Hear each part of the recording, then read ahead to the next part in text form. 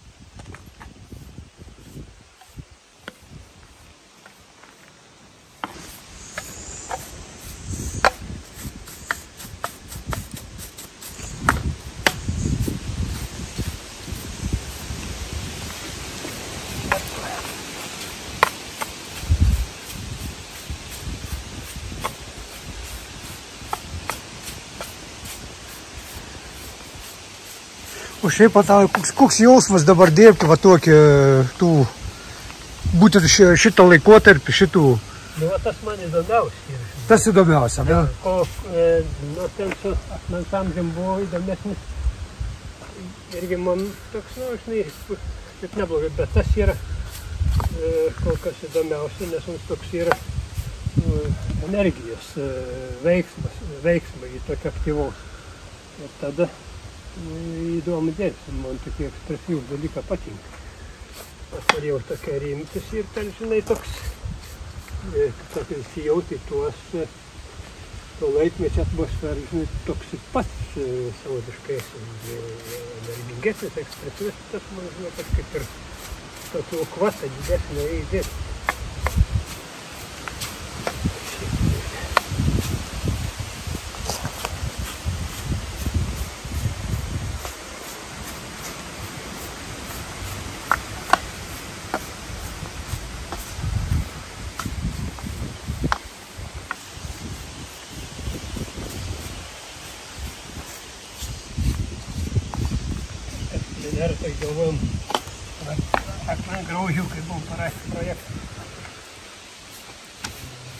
Akmens dulkių blynus kelia, iš plūnius užvežimai. Man atrodo, čia kad melsa, labas, nu, gerai.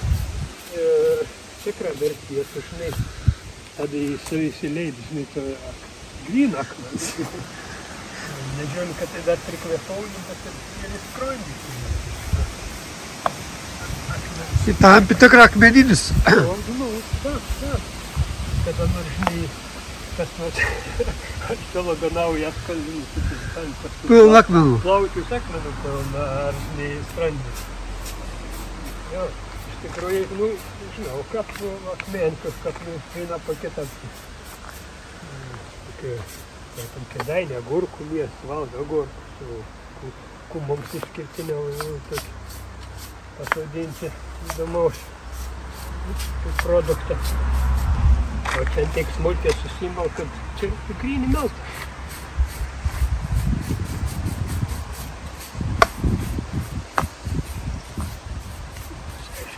Дерево ракеты даже как... Так, вот такой гагравший.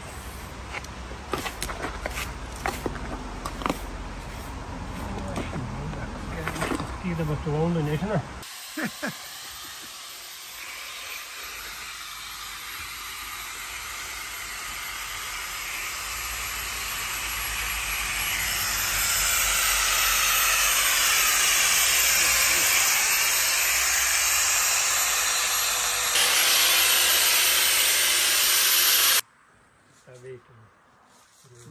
bet matai, rašytinių šaltinius nie. Irgi ten ne. Nu, kažkur, kažkur radašą arba, žinai. Matytis, o gal supranti, ons uh, iš tų vietinių, supranti. Čia jo bloks kams, bloks apšvietėms. Nu, savotiška. Jo, gal toks labai svarbios. Bet jeigu čia netoli.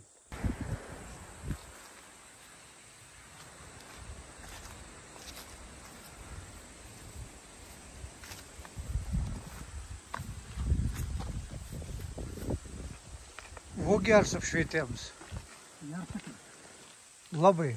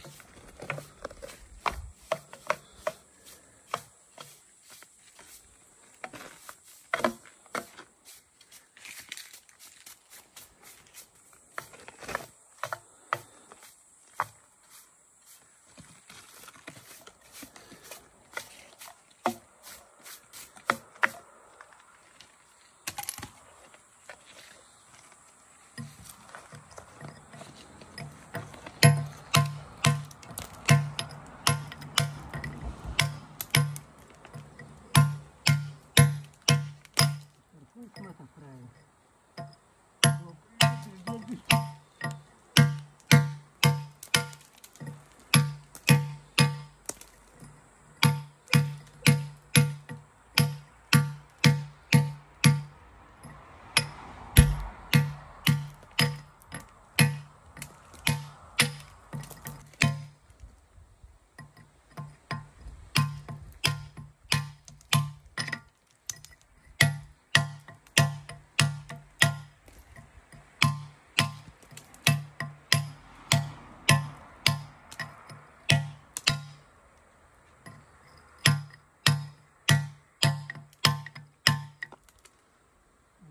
Mm-hmm.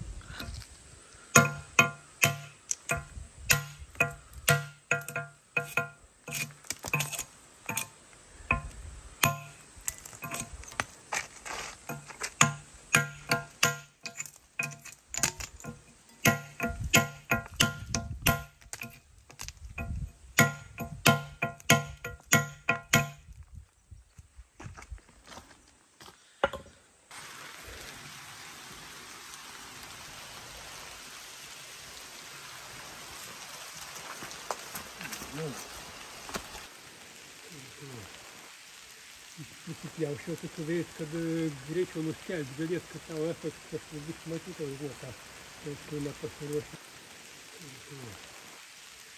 Prisipjaučiau tokiu vėjais, kad e, greičiau nuskelbti galėt, kad tavo efektas bus matytas, žinai, ką tai tu nepasiruoši.